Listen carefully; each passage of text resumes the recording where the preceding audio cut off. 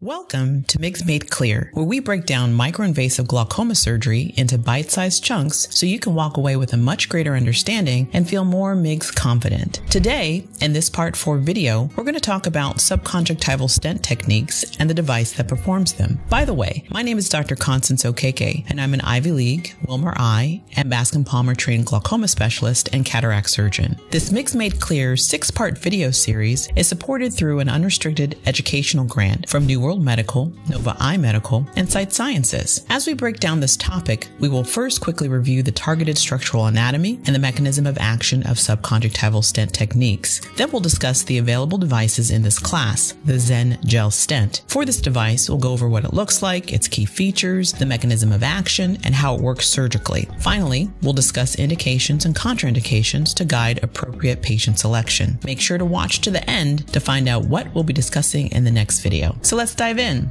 As an established MIGS adopter, I was actually a bit hesitant to adopt subconjunctival stents into my armamentarium. The main reason was because of my concern with bleb needling management and the potential disruption of my already busy private practice clinic. Over the years, I'd already reduced the amount of trabeculectomies I performed and increased MIGS procedures and tube shunts. But the reality was that I still wanted another resource for my challenging cases. Experiencing one too many secondary corneal edema tube patients necessitating a DSEK or a physically taxing tube exposure shunt revision case made me decide to take the leap to embrace my journey with subconjunctival stents, starting with Xen. Now, over six years later, and after several reiterations of my Xen technique, I feel very grateful to have this tool for my patients, especially when I'm seeing functional blebs, IOPs in the low teens to single digits, and quiet eyes that were once extremely hyperemic and uncomfortable from the multiple topical medications. I am thrilled to help you better understand subconjunctival stents in this video and potentially help you to incorporate this tool into your practice. Lesson 1 Review of Target Anatomy.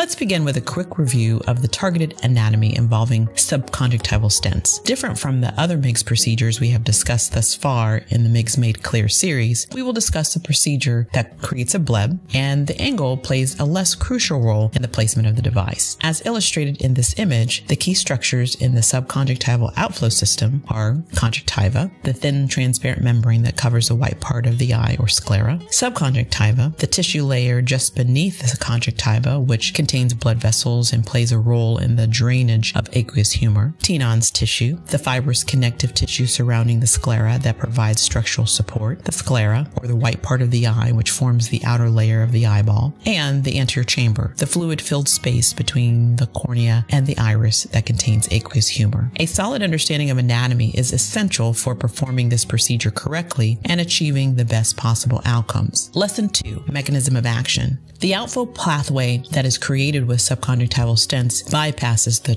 conventional outflow system, which, as we have covered, consists of the trabecular meshwork, Schlemm's canal, and the collector channels. The subconjunctival stent placement sits with one tip of the stent in the anterior chamber, tunneled through the sclera, with the other end situated in the subconjunctival space. This position allows aqueous humor in the anterior chamber, which is in an area of higher resistance, to flow through the hollow stent to the subconjunctival space where there is less resistance. The aqueous then gets reabsorbed by the surrounding tissues and thus allows for effective IOP lowering. Lesson 3 The MIGS device in this class and how it works. Now, let's go over the only available FDA approved device that utilizes a subconjunctival stent mechanism, which is the Xen gel stent. The Xen stent is 6 millimeters in length with a 45 micron lumen diameter. It's about the length of an eyelash. It's made of durable, biocompatible, tissue conforming gelatin that becomes flexible after implantation. It comes in a preloaded disposable injector with a 27 gauge double beveled needle. There are two ways of approaching the placement of the stent ab interno through a small corneal incision, which is the on label approach, and ab externo, where the conjunctiva is pierced or incised open and the stent is placed through the sclera and into the anterior chamber. Further, within those two approaches, there are variations of technique, which all have the potential to allow for good outcomes. A popular concept now is to create a good pocket surrounding the tip for diffuse blood free of Tenon's tissue that can clog the tip. Let's watch an ab interno approach with an air Xen technique in surgical action. After lidocaine gel placement on the conjunctiva, I inject air into the subconjunctival space to delineate it from the Tenon's tissue. This is followed by mitomycin C, which helps prevent fibrosis and scarring around the tip. This is followed by viscoelastic, which then further helps to delineate the cleared space or pocket for the Xen tip to go. Then the Xen injector tip is inserted into the anterior chamber through the scleral wall into the subconjunctival space and released into position. The pocket surrounding the stent tip is checked for free mobilization. Now, there's also the ab externo approach, which can also be very effective. I have found use of this approach for patients who have had previous corneal surgery where I want less manipulation in the anterior chamber to protect the corneal endothelium. You can watch an ab externo Xen approach by clicking the card link above. Now, an ideal patient for Xen gel stent is someone with an open angle who has refractory glaucoma, including cases where previous laser or surgical treatment like other MIGS or other traditional glaucoma surgery did not work, including cases of pseudo-exfoliative or pigmentary glaucoma with open angles that are unresponsive to maximal medical therapy. The conjunctiva should be freely mobile in the desired location of the Xen. The Xen gel stent is contraindicated in angle closure glaucoma where the angle has not been surgically opened, when there is previous glaucoma shunt, valve, or conjunctival scarring or pathologies in the target quadrant, when there's active inflammation or active iris neovascularization, when there is an anterior chamber intraocular lens or intraocular silicone oil, or vitreous in the anterior chamber. So let's recap. Today we reviewed the subconjunctival stent mechanism of action, the targeted anatomy, the unique features of the Xen gel stent, various surgical approaches, and we discussed some points to help with patient selection. Now, before we wrap up, here's what I'd like you to do next to get the most out of this MIGS Made Clear series. First, uh, subscribe to the iGlaucoma YouTube channel so you don't miss any videos in the series. Share this video with other eye care providers who might also benefit from the knowledge. Check out the resources below, including guides on adopting MIGS and understanding real world MIGS outcomes, as well as getting a sneak peek on what's to come with the MIGS Made Clear video series. And don't forget to grab a copy of the award winning The Glaucoma Guidebook Expert Advice on Maintaining Healthy Vision for practical tips on managing glaucoma. This is a great resource for patients. Finally, if you have experience with subconjunctival stent techniques, or if you're interested in learning more, leave your thoughts in the comments below. Your feedback helps us to continually refine the content to make it as informative and as relevant as possible. Whether you're managing difficult to treat open angle glaucoma or looking for a technique that can significantly reduce eye drop burden, subconjunctival stents offer a less invasive option than traditional glaucoma surgery that helps patients maintain healthy eye pressures. I hope this breakdown clarified the advantages and applications of subconjunctival stent techniques, as well as boosted your confidence in selecting the right tools for your patients. Thank you for watching, and remember, every step we take in understanding MIGS brings us closer to improving glaucoma care. And if you want to further enhance your MIGS learning, watch the next episode where we'll be discussing endocyclophotocoagulation and micropulse laser techniques. Let's make MIGS clear one technique at a time. This video was brought to you through the AGE Initiative and iGlaucoma.